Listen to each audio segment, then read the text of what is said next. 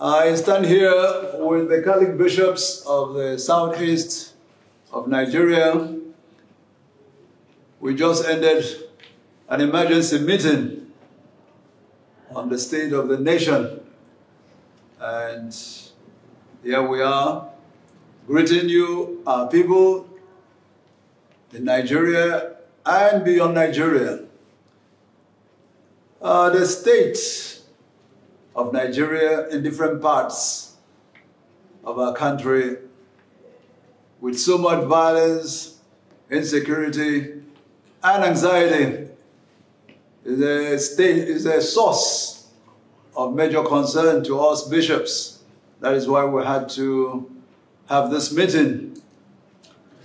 And in the process, we have addressed a number of issues that are bothering us and which are part of the reason for the worrisome nature of our country today.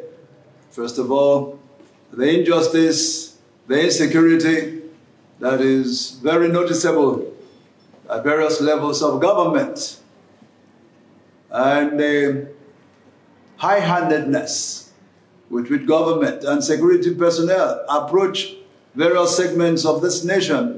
And this has led to a lot of public outcry, public dismay, and disappointment. And in the light of this, there are provocations and reactions from the people because they would like government to respond to the genuine needs and outcry of the people.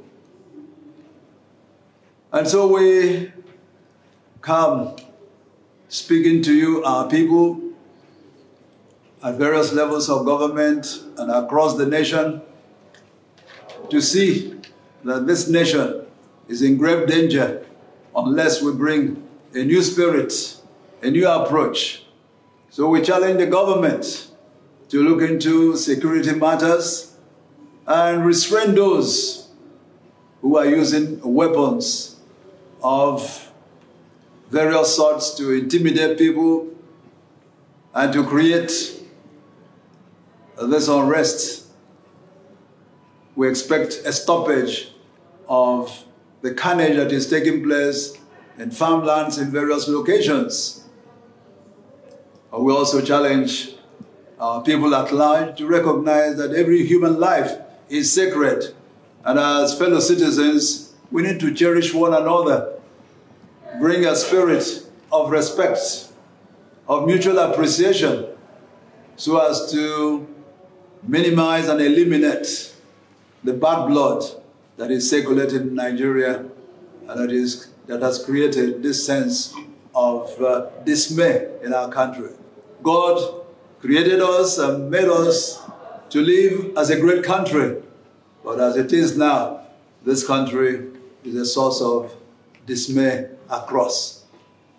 But we look forward, we rely on God to continue to direct us to the more noble path in this nation. It is good to note that the lopsidedness of application of justice by the government is worrisome.